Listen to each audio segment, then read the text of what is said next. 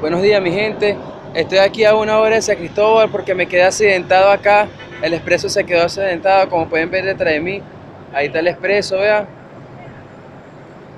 me quedé accidentado, bueno, me quedé, no, nos quedamos accidentados porque no solamente yo, sino también los pasajeros también, y estamos, estoy a una hora de acá del terminal de San Cristóbal, y oye, verdaderamente tengo aquí ya una hora aquí parado, ya se ha accidentado tres veces. Y estoy esperando para que arreglen ese problema para llegar a San Cristóbal. Y brevemente pronto estará ya en Cúcuta, estando con mi gente. Y bueno, este video lo estoy grabando para que vean todo lo que nosotros pasamos acá. Y bueno, lo que hay que tener paciencia.